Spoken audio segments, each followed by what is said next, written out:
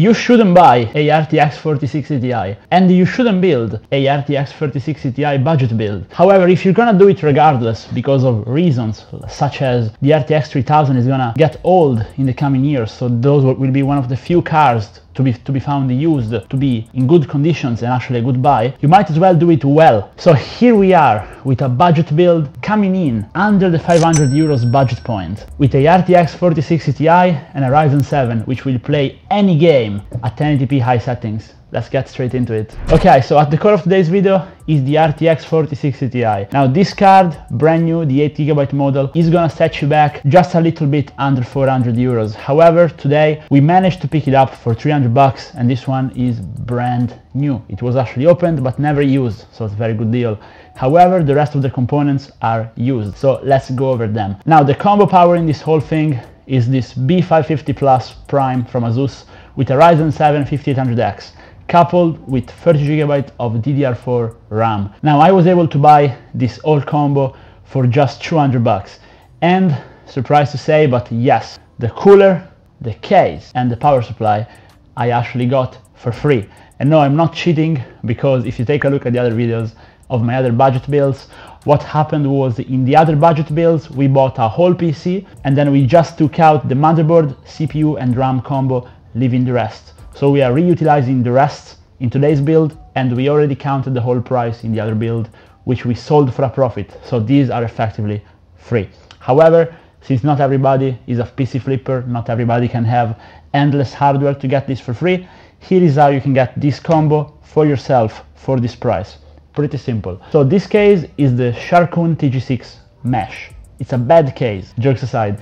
It performs well, but it doesn't look the best. There are better options out there which are cheaper and you can buy today on Amazon. Many of which I have covered in my videos in the past, but a few brands I feel like recommending are Mars Gaming, iTech and Sahara Gaming. They are the best in terms of budget cases and if you want to pick one of them, it's going to be around 30 bucks to 50 bucks depending on how good you want it, okay? Power supply you can buy it used for around 30 bucks. And now let's go over the first point of why the RTX 4060 Ti can actually make sense for many people. Main reason is this card is the most power efficient card out there. It literally doesn't draw power. It has a single 8 pin connector and can be powered easily by a 450 watt power supply even with a Ryzen 7. So you can just buy the cheapest power supply you can find out there and it's gonna run perfectly with this card, especially if I undervolt it as shown in my tutorial. But let's not spoil too much about the performance. You can then get a 1TB SSD for 30 bucks, readily available online, NVMEs are cheap, RAM is cheap, cooler, you don't need a cooler, you can just use the stock cooler because Ryzen CPUs are, excuse me, let me correct myself, because 5000 series Ryzen CPUs are actually pretty good with the stock cooler. 7000 not as much. So you can just use a stock cooler and undervolt the CPU as well. Again, I have a tutorial for it and you will be able to use that so you can save some money there as well. And if you actually count everything up, we have finished the components. So without further ado, I say we build it, play some games and talk about further about why this is a very good build, okay? So let's get into it. Today's build out process is going to be relatively simple because as you can see the motherboard is already fully populated because I tested it out of the case, something that every single one of you should be doing and that I often don't do it because I am a bad example, but yes. We already tested that everything is working and now we're just assembling the actual computer in the case. So we slot the motherboard in and now we go ahead and screw it into place.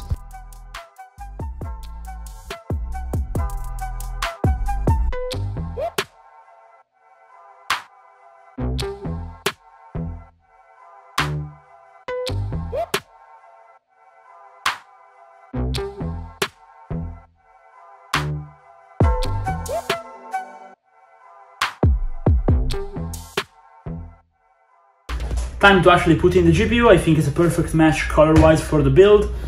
Let's go straight ahead.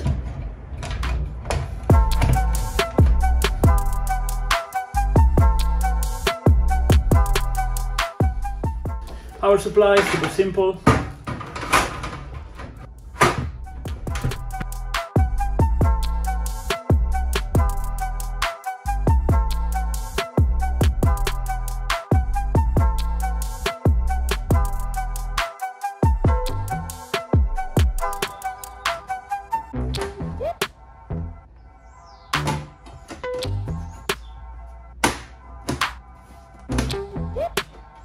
I say it's time for a first boot.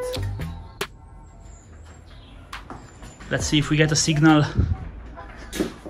Again, we already have Windows installed, so if it boots, it should boot straight into Windows. Let's see. Okay, we're into the BIOS, that's good. Uh, it's giving us an error message in Windows, but it's basically working. So, success. Time to test it. Well, we had to run a quick BIOS update and to get everything finalized, but here we are with the PC fully finished and tested. Now let's go over the synthetic tests first then days of use, then the games for last. I know you want to see the games. Now CPU-Z, pretty easy. We've covered quite a bit of AM4 CPUs. For cheap computers, they're the best value for money. 615 single thread, very impressive score the multi-thread as well. Just overall, great. We tested the CPU temperature in Prime 95 as well. It reaches 8 degrees at maximum with a very, very, very quiet fan curve. GPU, really, the coolest GPU I've tried so far, reaching just a peak of 58 degrees with stock settings. Not even undervolted guys, 58 degrees on the core. Extremely quiet. I couldn't even hear the fans running. Really happy about it. Ran a quick fire strike. We did 30k, 35k in graphics. Extremely impressed with it. This card is not actually that bad. I'm gonna say it. It's not that bad. It, it received very bad press, mostly because of the price point. But I think this video will be especially useful in like half a year from now to a year when you will be able to find these cars used for a good price and for a good price you definitely should actually buy the RTX 4060 Ti. So yes, the title should have been you shouldn't buy a brand new RTX 4060 Ti but in today's market at the 300 euros mark which is what I paid for it it actually is already justifiable because you're getting a brand new card with warranty lightly used, you're sure it wasn't used for mining. So genuinely, even today, it might be a good buy at the right price, to be honest, but it will definitely be tomorrow once you will be able to find it used for a good price. So I'm really happy about it. Now the rest of the build, the Sharkoon TG5 mesh, sorry, the Sharkoon TG6 mesh, I forgot because it's basically the same case, is good. The mesh front panel helps a lot and keeps everything cool and quiet even with the side panel closed and it looks kind of nice, but you have to be the judge of that one. So, games. How does this GPU perform? Well, you've actually, I bet all of you have seen uh, the full review at launch. This card basically performs like an RTX 3060 Ti from the previous gen in most games. In some games, especially at higher res, it reaches an RTX 3070. Some, the performance difference is negligible with the RTX 3070 Ti as well. This card will allow you to play close to 240 FPS in most competitive titles, Fortnite on low for sure, as we've tested. Apex, it's a bit trickier, but you can do over 200. Warzone, you can max out the 144 FPS mark. It's tricky to get over that in Warzone with this card, to be honest. Single player games, well, even with higher details, you can stay at 60 FPS mark easily. Starfield has gotten an update as well, so even that one is gonna be fine. Being an RTX 4000 cards, it will support frame gen and all that good stuff, so it's nice. So, all in all, very good PC, even at stock, temps are great, honestly no need to undervolt this time but we still undervolted it.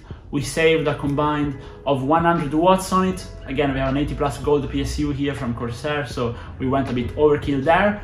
Again check out my undervolted tutorials if you want to do it on your PC as well. And please drop a like and subscribe and check out my other builds as well if you want to see what I can do with a bigger budgets or with older hardware. We have quite a bit of stuff on the channel. And see you in the next one guys. Bye